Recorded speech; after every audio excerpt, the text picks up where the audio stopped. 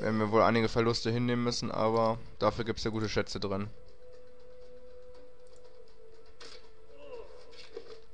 Also es gibt auch wieder diese Kreaturenhorde, Hort, Horte, halt, die man ausplündern kann. Also in diesem Fall einfach Bergfried oder was gibt's noch alles. Bei Heroes 3 gab es ja auch unzählig viele davon. Sogenannte Imp-Tiegel oder sowas, wo dann Imps drin waren, die man dann einfach töten musste. Oder ich glaube, es gab auch eine Naga-Bank bei Heroes 3, dann musste man Nagas töten, dann hat man die Schätze der Naga bekommen.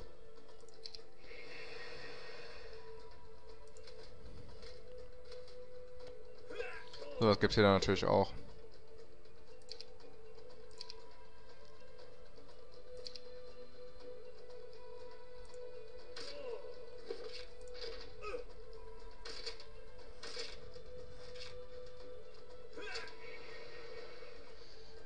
Kreuzritter noch 21 Leben, das reicht.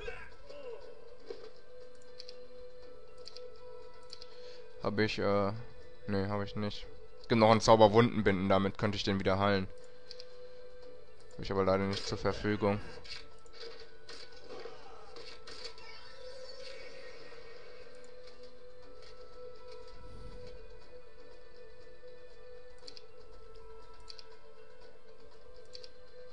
Schieß. Ihr merkt wahrscheinlich schon, ich vergleiche ja viel zwischen Heroes 3 und Heroes 4. Was sich so verändert hat, was gleich geblieben ist. Ähm, ja, man kann streiten, was ist jetzt das bessere Spiel. Zuerst habe ich immer gedacht, Heroes 3 wäre besser, aber im Endeffekt habe ich dann doch auch sehr viel Heroes 4 gespielt. Und ja, beides hat so seine hat so seine Vorzüge. Ja, hier haben wir Wundenbinden erhalten und Segen, also Schon zwei gute Zauber. Können wir gleich nochmal zurückgehen und die Zauber abholen. Die Kathedrale Stufe 2 noch bauen. Heilen, himmlischer Schild. Ja, ist schon ganz nett. Warten wir noch ein bisschen.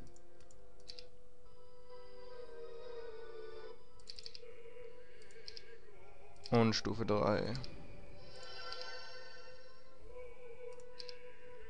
Ja, großer Segen. Ich liebe großer Segen.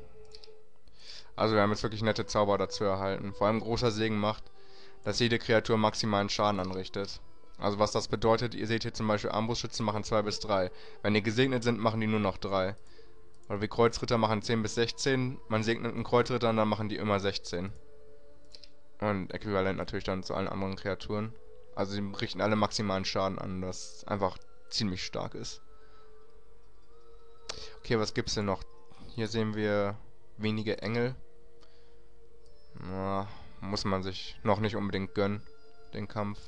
Ich gehe erstmal hierhin zurück und hole mir noch ein paar Kreaturen.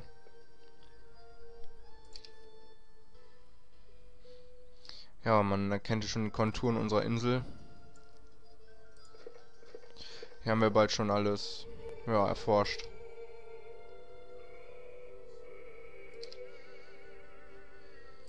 Äh, Kreaturen. Ja. Gut.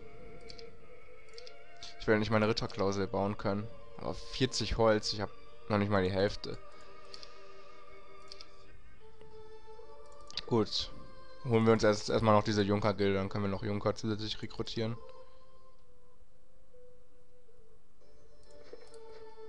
Dazu müssen wir diese Armbrustschützen aus dem Weg räumen, die wir fliehen lassen. Weil das ist einfach besser.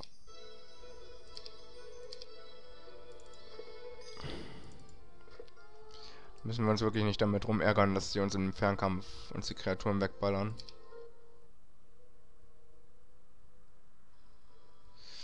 Ähm.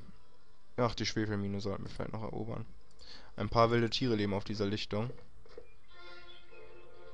Ja, Waldlichtung, das ist auch wieder so ein Kreaturenhort. Wenn man den ausplündert, kann man sich auch wieder ein paar Schätze holen und das machen wir jetzt hier mal. Also unsere Gegner sind Wölfe und weiße Tiger von Fraktion Natur. Ihr seht übrigens, die haben ja immer so eine Farbe um ihr Porträt. Und an der Farbe kann man die äh, Fraktion erkennen. Also lila hier zum Beispiel ist Leben, grün ist Natur, orange ist Chaos, weiß ist Tod Äh, was gibt's noch? Rot ist Macht. Blau ist Ordnung. Und... Ja. Was habe ich jetzt vergessen? Ich habe erstmal jetzt alle gesegnet. das ist schon mal wichtig. Also Tiger sind übrigens sehr nervig. Die sind stark. Wo es nur Level 2 Kreaturen sind. Die haben nämlich den Erstschlagangriff und haben nicht wenig KP und machen nicht wenig Schaden. Muss man mal dazu sagen. Also haben wir noch eine himmlische Rüstung raus.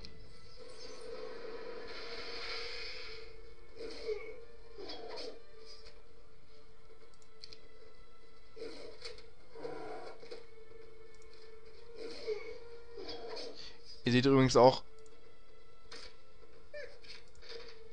wenn die Kreatur die Erstschlagfähigkeit besitzt, dann bedeutet das auch, wenn ich eine Kreatur angreife und ich nicht über Erstschlag oder sowas verfüge, dann greife ich an und dann werde ich aber trotzdem zuerst angegriffen von einer Erstschlagkreatur.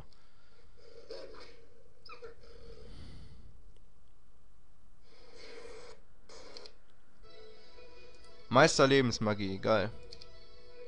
Ah, 24 Holz, das ist, das ist nett. Das können wir gut gebrauchen. Oh, Betrachter, ich hasse Betrachter.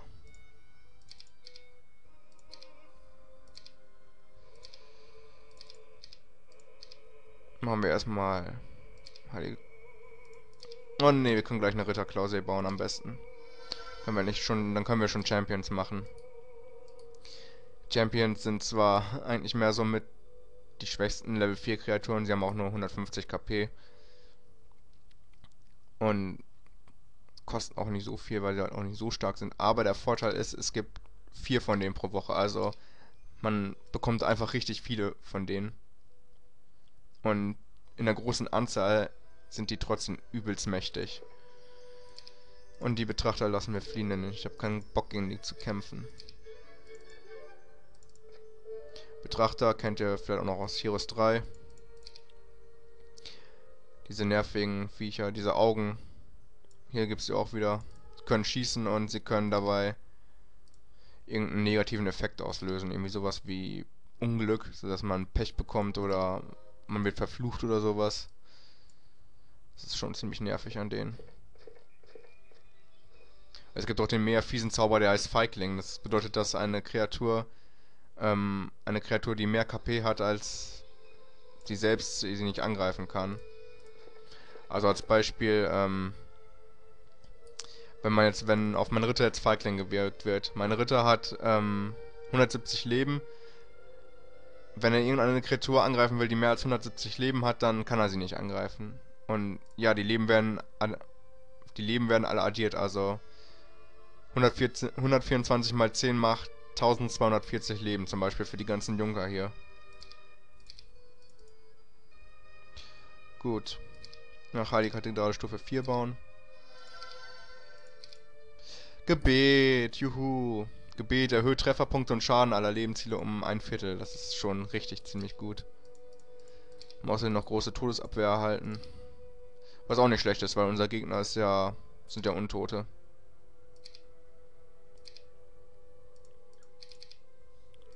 Moment.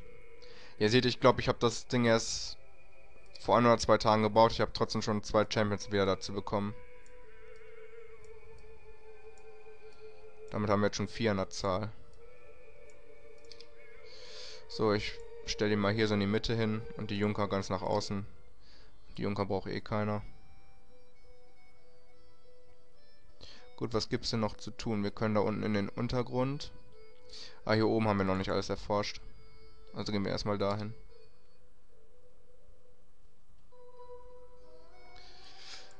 Also, wir sind jetzt schon nach einer kurzen Zeit ziemlich stark geworden.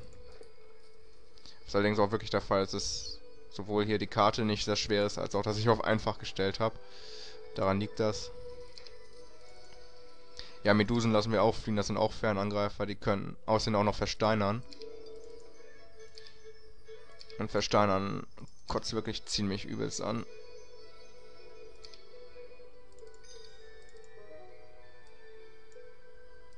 Da hinten sind noch mehr Truhen. Nur gegen Orks können wir aber kämpfen.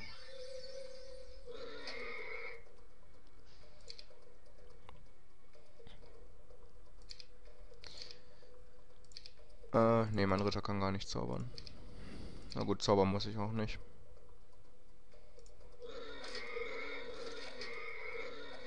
Ja, schießen auch meine Champions. Bringt absolut nichts. Dafür haben die doch ein wenig zu viel KP. Hochgesellen ins gut, mit guter Moral, sie dürfen jetzt als erstes in der nächsten Runde angreifen. Also wir sehen jetzt, sie haben den Erstschlagfertigkeit, die wirklich gut ist, und Aufladen. Aufladen hatten sie ja auch schon bei, äh, wie heißt es, Heroes 3.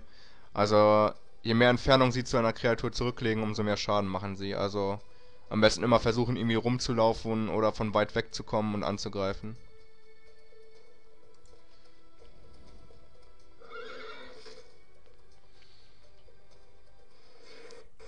Und wie ihr seht, der Erschlag funktioniert wirklich. Mein, mein Champions greifen zuerst an, erst dann wehrt sich die Kreatur.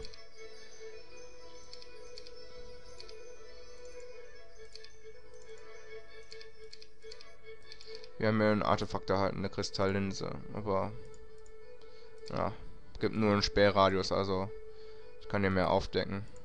Das ist jetzt auch nicht so so der Bringer.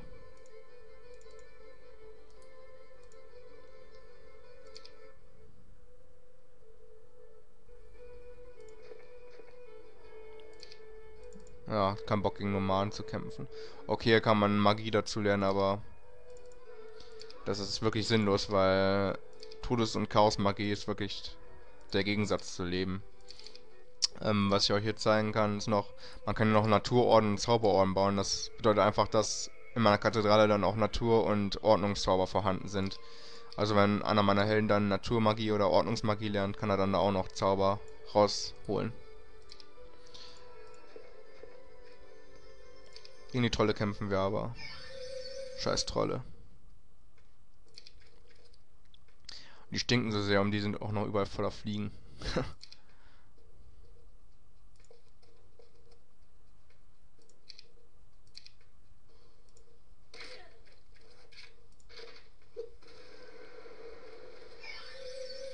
die regenerieren, ich hasse regenerieren.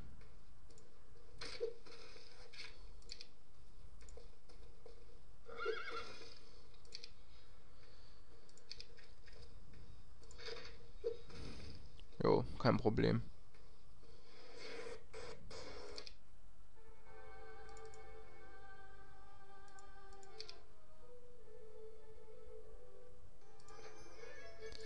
Ein Sextant. Plus 6 Zauberpunkte für meinen Mönch.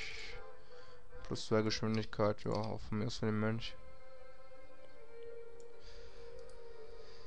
Ja, machen wir erstmal hier die Katapulte da fertig. Lohnt sich auf jeden Fall. Und hier können wir eine Karawane bauen, glaube ich auch. Das wäre, glaube ich, auch sinnvoll. Mit der Karawane können wir hier zum Beispiel von externen Behausungen, wie zum Beispiel die Junkergilde, können wir hier die Junker hier in die Stadt holen. Ich weiß gar nicht, habe ich schon erwähnt, man kann übrigens auch ähm, zum Beispiel hier einen Junker ausbilden. Oder Armbrustschütze, gut, habe ich jetzt ausbildet. Und man kann hier wirklich mit den Kreaturen rumlaufen. Wie ihr seht. Das konnte man bei Heroes 3 auch nicht. Aber der Nachteil ist, man kann mit Kreaturen zum Beispiel keine Städte erobern und man kann hier nicht ähm, Minen und sowas alles erobern. Das geht mit Kreaturen nicht. Aber man kann mit ihnen rumlaufen und man kann Rohstoffe einsammeln. Also, weiß nicht. Und Artefakte glaube ich auch. Also hier zum Beispiel die Truhe könnte ich mit denen aufsammeln oder ich kann auch halt kämpfen gegen andere Helden und Gegner. Boah, drei Katapulte. Boah, das wird ekelig. Ja, scheiße. das sind ja auch Leben, Lebensziele, deswegen habe ich ist mein Gebiet auch noch auf die mitgegangen. Ja, versucht die irgendwie eure Kreaturen irgendwie weit zu streuen, weil die haben solche so eine Feuerball-Angriff-Attacke.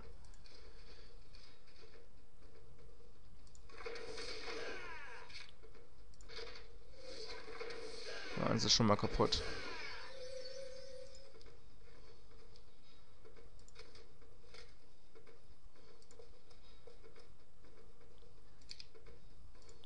Ach, dämliche Katapulte, ey.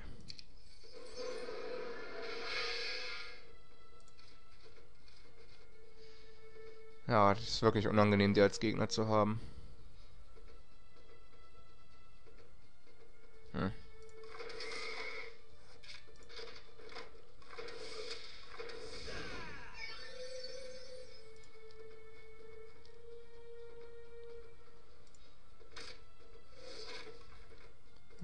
Wenigstens zwei zerstört. Jetzt noch meine Champion. Perfekt. Wir haben immerhin 17 Armbrustschützen verloren und 4 Ballisten. Aber durch Erweckung kriegen wir wenigstens 5 zurück. Expertenführerschaft. Ja, und hier sind nochmal Katapulte. Noch mehr, wie wundervoll. Die bewachen hier die Behausung.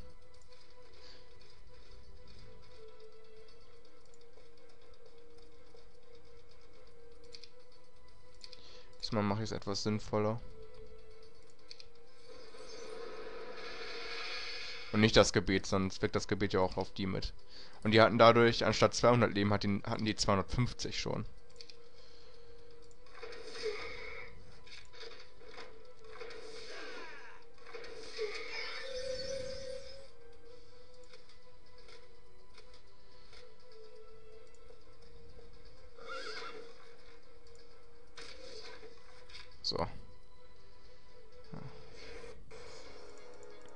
Hätten erledigt. Leider habt ihr keinen Platz in eurer Armee, um Katapulte hinzuzufügen. Tschüss, Junker. Ja, ihr seht richtig. Ich habe meine Junker gerade aus der Armee entfernt.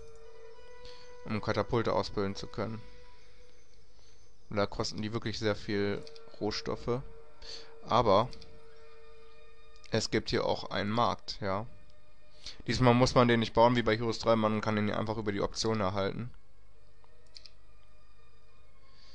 Und hat hier eben so eine, seine Tauschrate, die um Weiten besser ist als bei Heroes 3. Also um einiges fairer, meine ich damit. Ich weiß nicht, man musste doch... Keine Ahnung. Auf jeden Fall, wenn man irgendeinen Rohstoff nicht hatte, musste man wirklich sehr viel dafür geben, um wenig davon zu erhalten.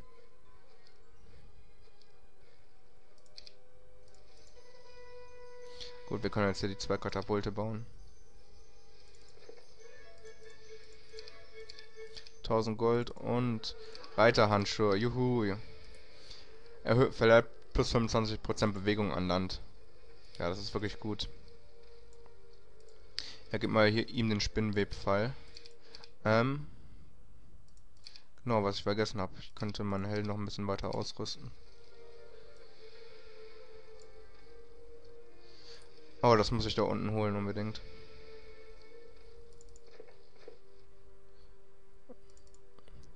Das ist ein Erzkarren und ein Holzkarren.